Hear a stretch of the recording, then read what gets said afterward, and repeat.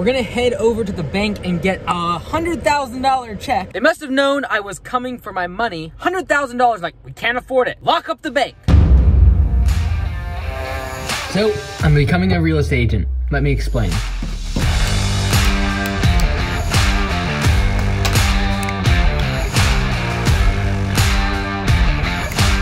Started first mowing lawns, I would listen to Bigger Pockets and other real estate books like Rich Dad Poor Dad and learned everything I possibly could about real estate and real estate investing.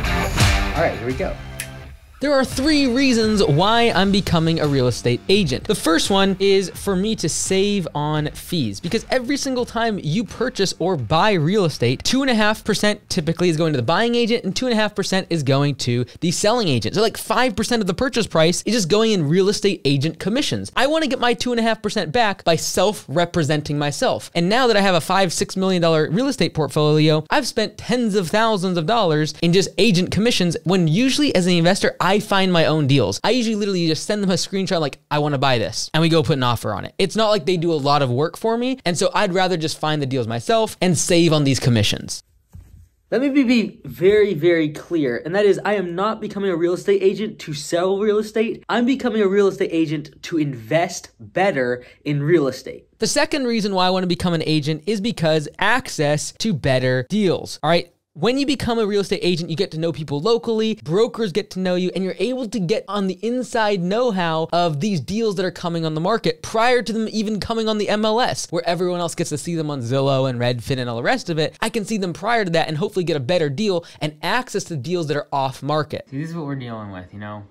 Late at night, and I gotta get 70% to pass the quiz. That is one question out of a 35 question quiz that I am getting wrong.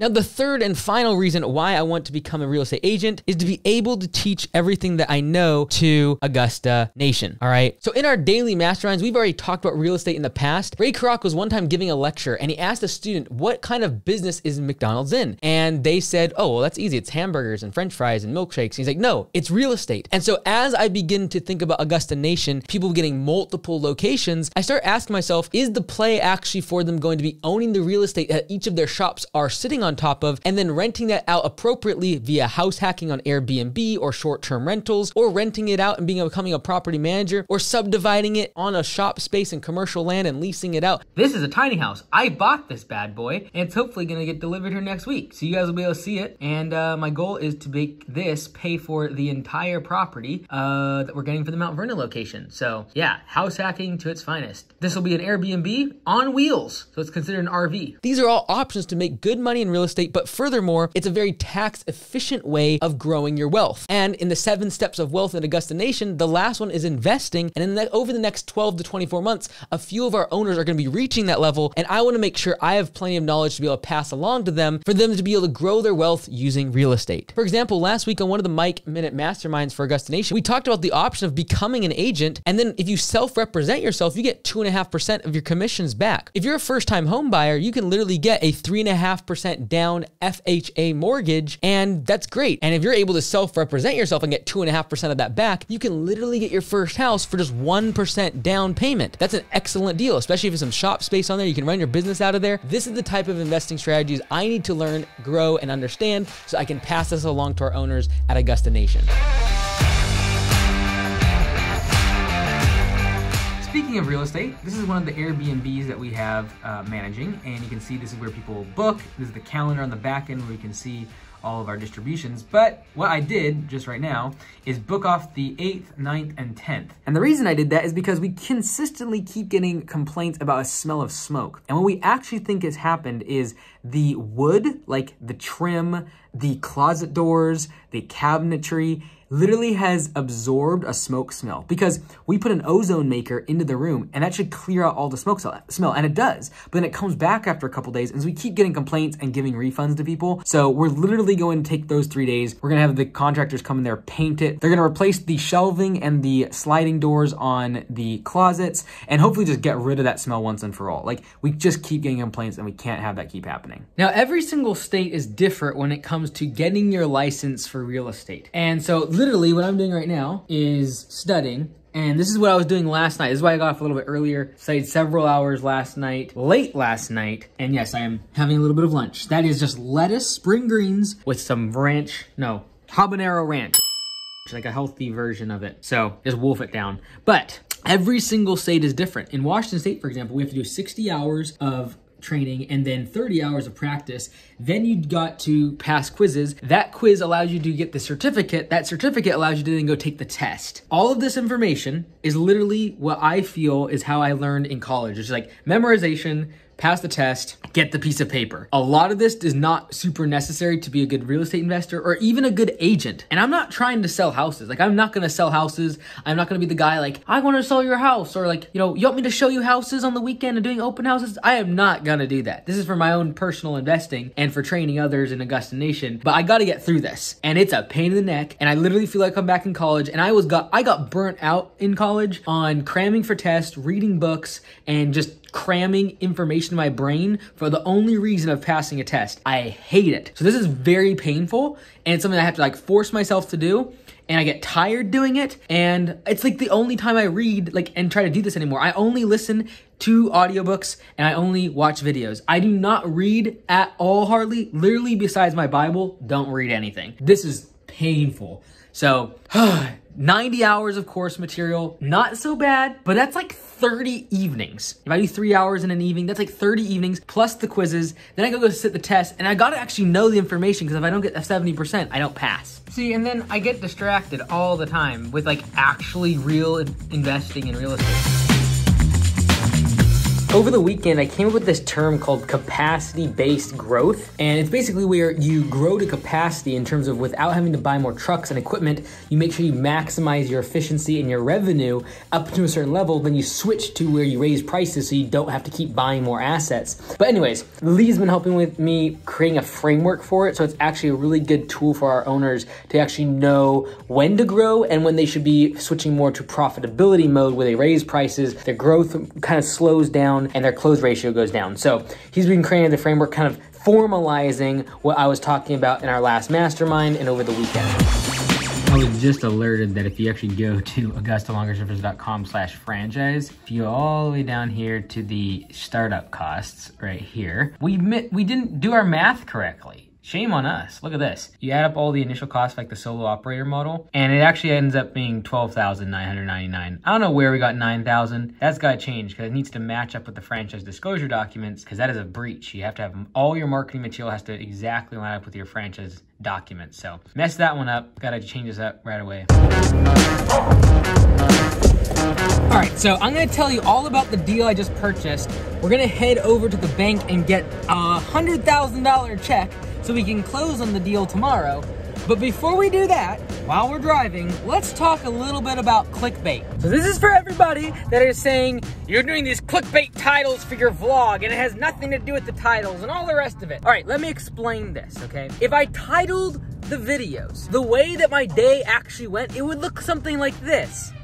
46 emails, 96 phone calls, 32 voice notes. That'd be day one. Day two vlog, four and a half hours of Zoom calls. Like, it would be super boring. You gotta remember that literally 90% of my day I can't share in the vlog because it's either just a bunch of Augusta operational emails and calls and phone calls and text messages and Zoom and all the rest of it, or it's just confidential. Like, I can't share all the drama that happens. And trust me, there is a lot of drama that happens over the course of 90 plus locations. Cause I, I don't wanna share things that are confidential effective July 8th. What in the world? The bank is closed. That's crazy. I gotta go to a different bank. Look at this. Effective last week, it's closed. Literally, it's all boarded up. Gonna have to go to a different branch. They must have known I was coming for my money. $100,000, like, we can't afford it. Lock up the bank. Okay, back to what I was talking about with clickbait. Most of what I do throughout the day is either really boring or I just can't share it.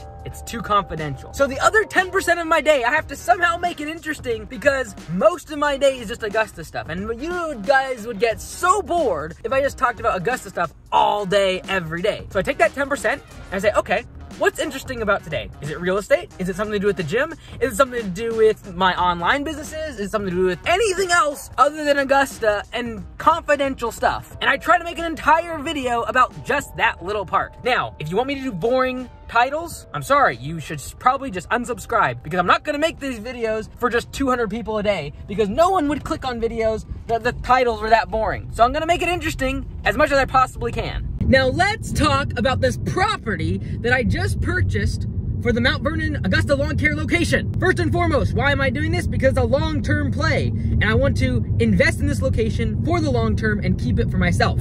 Secondarily, the rent on our current place is going up, and I just don't like the location because there's a lot of theft, and I don't really feel like the owner wants us there and will not sign a long-term lease.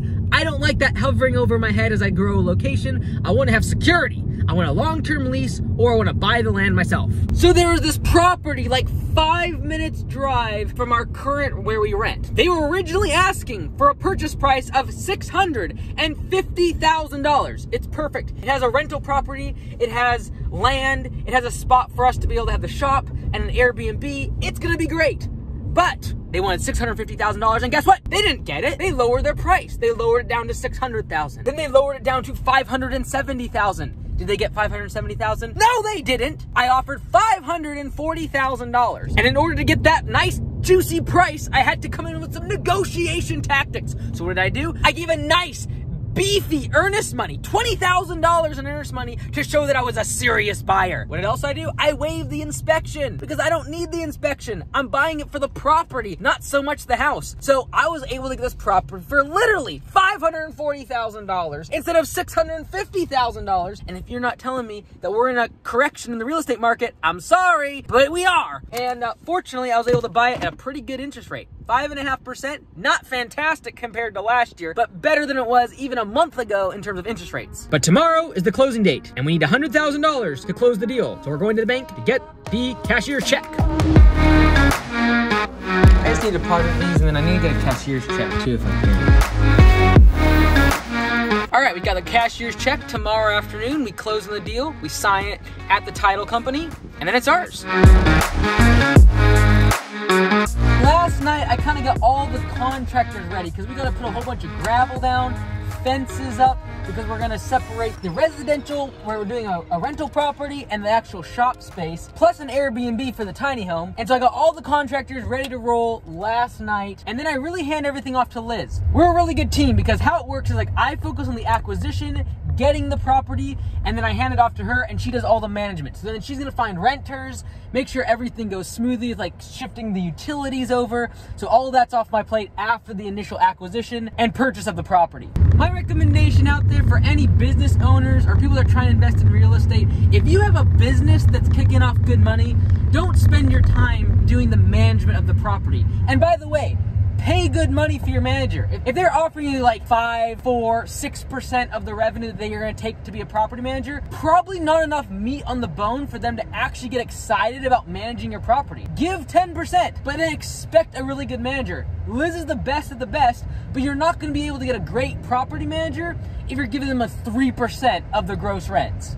Just stop being cheap. Stop tripping over nickels in order to save pennies. Some people are gonna be like, why, why did you waive inspection? Why did you waive the inspection? You are such a novice. You don't know what you're doing. Okay, maybe that's true. But here's the reason why. I don't trip over pennies when I'm going after dollars. And ultimately, this property is gonna probably save or make me six to seven thousand dollars a month in revenue. And the mortgage is gonna be like three thousand or thirty-two hundred with insurance and all the rest of it. So why in the world would I care about a little inspection when I know that the bones of the property, the actual infrastructure of the AC and the heating and the electrical is all brand new? If there's a ten thousand dollar repair, it's not gonna change whether or not this deal is a good deal. And honestly, if a ten or fifteen thousand dollar repair is going to make or break a deal, you probably don't want to do doing that deal. There's not enough meat on the bone. These type of strategies when it comes to the real estate side of things is what's going to allow owners of Augusta Nation to build their wealth in a very tax efficient way, especially as they get multiple locations or begin to grow and expand and need shop space. You can house hack, you can figure out ways to subdivide land and really make a difference. And that is why I'm getting my real estate license.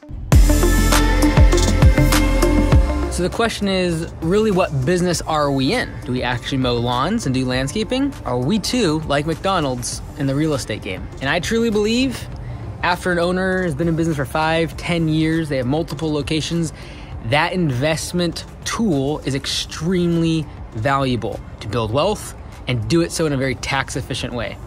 And so, yes, that is the game plan. Five, ten years building your business, generating income, taking that income, investing in an asset that's tax efficient and grows and appreciates over time.